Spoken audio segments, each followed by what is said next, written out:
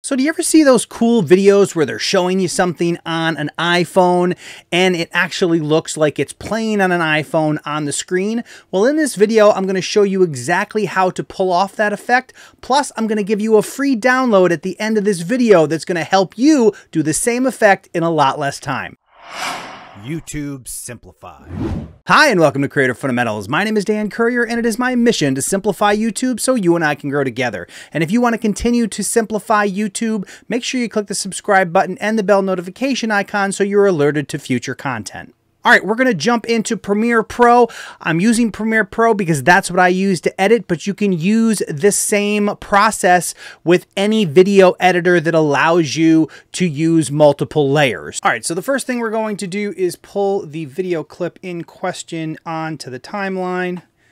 Keep existing settings here. We can see that it is shaped like a phone, but it doesn't look like a phone, and that's what we want to fix. So we're going to resize this so it actually fits on the screen. That's kind of the first step. So we want this to appear as if it is actually on a phone and not just this rectangle floating out in space. And the way we do that is with an overlay that either has a transparency for where the screen's going to appear, uh, or you could probably get the same effect with uh, chroma key and you know kind of a green screen effect but in this case I'm actually going to use a template that I've made and we're going to drag that onto here as well. Now when we go to that particular area, you'll see that the template is the size of the screen and it has a phone built into it. Now where the phone screen uh, exists here, it's actually see-through. So there's just a blank, there's a void there. So this video is actually behind this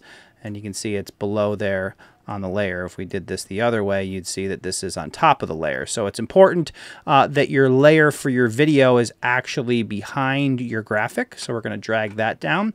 And then, of course, we want it to look like it's on a phone, so we have to make sure that the sizing is right. So we're pretty close here, but I'm going to line this up to where I want it, and we're going to see exactly what it looks like here. And it's a little bit big. So we're going to kind of adjust here. Any blank space or anything. It should fit uh, pretty, pretty nice looking. So we're going to kind of make sure it looks good like that. And then we obviously want to take that and make it the entire length of the other layer. So when the actual video plays, it plays like it's on a video screen. It's a pretty simple technique, but it really does make your videos look a lot more impressive and can really add a more professional look. Now, uh, there's a couple different steps in making these overlays. Uh, basically, you need to find a good cutout or template of the phone. You need to put it over a backdrop, and then you need to delete the middle out of that. But uh, I wanted to simplify this process for you. So what I've gone and done is I've actually made some overlays for you. Let's check those out. All right, so in the description below, I'm actually going to make two different options available to you. I'm going to have a link for a free overlay package, which is this right here. And as you'll see, if we view the actual images within this, I have provided you with one of these overlays uh, for a variety of different looks on your screen. If we look at this one, this is just a solid backdrop with the iPhone cut out in the center of the image like so. This area is actually transparent in this. And then we can take a look at the left option if you want to put some other stuff on your screen to the right. We have that. And then we have one doing the opposite. And then I've also created a couple picture-in-picture -picture templates, which will allow you to put the phone on the screen with the cutout, plus have an area that you can throw a face cam on so you can actually be on screen talking about what's going on on the phone itself. So we have that package that's going to be available to download for free and uh, you can see that in the description below. The other option that I'm going to make available to you is for uh, those particular outputs plus the GIMP file with the project file that I used to create uh, that actual effect. So as you can see it here, it's a, it's an XCF file for GIMP, which is a Photoshop type um, option. And what I'm going to do in that one is also include a short video that explains how to navigate around that project file if you want to be able to make some adjustments to it.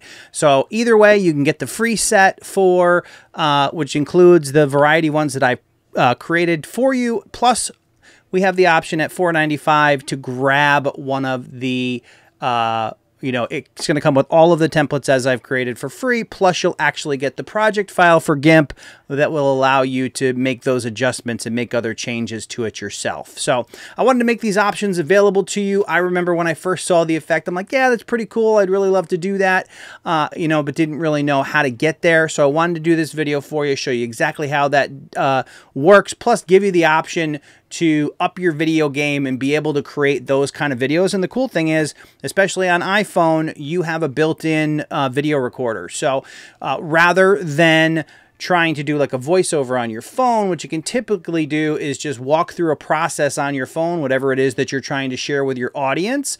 And then after you move it into your video editor, you can do a voiceover and explain what's going on. Or in this case, with the templates that I provided you with the picture and picture effect, you can actually record yourself on video as you watch what's going on on the phone and kind of sync them together in your final edit. So just wanted to give that to you. I know it can be kind of overwhelming to figure out how all that works, uh, but I wanted to cut to the chase and allow you to make those types of videos without having to learn a bunch of new processes and things like that. And hey, don't forget this video is sponsored by TubeBuddy. TubeBuddy is your number one browser plugin for managing and growing your YouTube channel. It's available to download for free. There's a link in the description below, or you can go to trytubebuddy.com today and get started for free. Hey, don't let the learning stop here. I'm going to put a playlist up here to YouTube feature tutorials to learn more about how YouTube functions. I'll see you in the next video.